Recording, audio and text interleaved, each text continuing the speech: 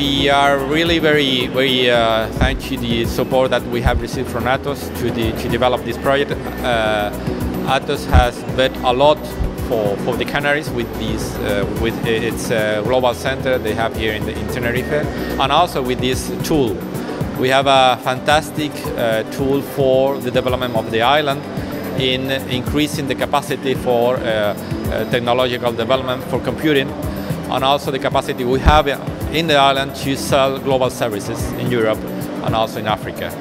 Uh, we think that with the uh, with TEIDE, with the supercomputer, we will be able to develop new projects to develop the knowledge, uh, the frontier of knowledge in, in Europe and also in, in, the world.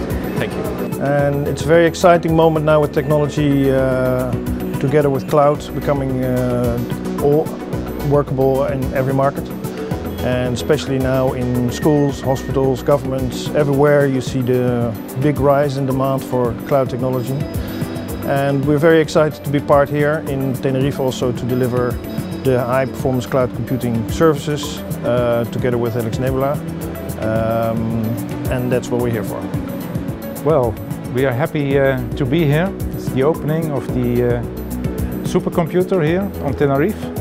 And obviously we are going to use it within Canopy, within Atos, because it gives us tremendous opportunities. First of all, we are going to open a European Helix Nebula marketplace where various cloud suppliers are in that offers the opportunity to governments and to publicly funded research institutes to have a real business alternative to Google and to Amazon. We are creating a, Euro a European cloud and uh, well, I think that's, that's good. It's good for Europe, it's good for the data protection that we offer here. We have better legislation uh, and also it's good for work. Uh, we see that in 2020 about 5 million people will be working in the cloud industry and yeah, that's what we're creating here nowadays. We are offering a real business alternative. We expect to do quite a lot with this, um, with this Nebula platform and the HPC facilities will be very much needed for modeling, especially for Earth observation, climate change, seismic uh, modelization. So these are uh, powerful um, computing that, were, that is needed and as we expect uh, Helix Nebula to bring our community, scientific community, a lot of resources, computing, storage and uh, a platform, marketplace where they can exchange and, um, and develop new algorithms. I'm very proud of it. I feel I heard today that a lot of expectations from the market and from the local authorities, so I feel that on my shoulders, but uh, okay, we'll, we'll deliver.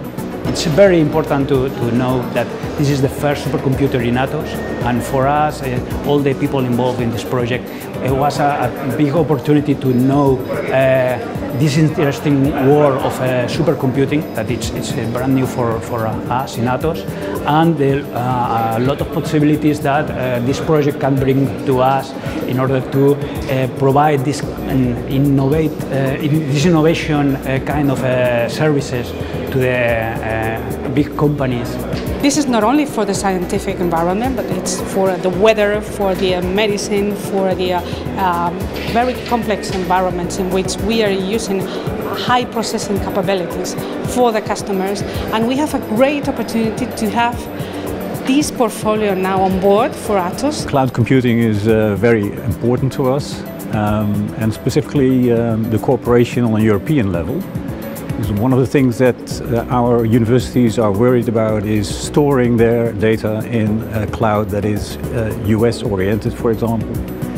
And what we see is that we miss in the Europe uh, cooperation uh, on cloud computing and Helix Nebula is a very fine example of the possibilities that cloud computing could uh, have for us.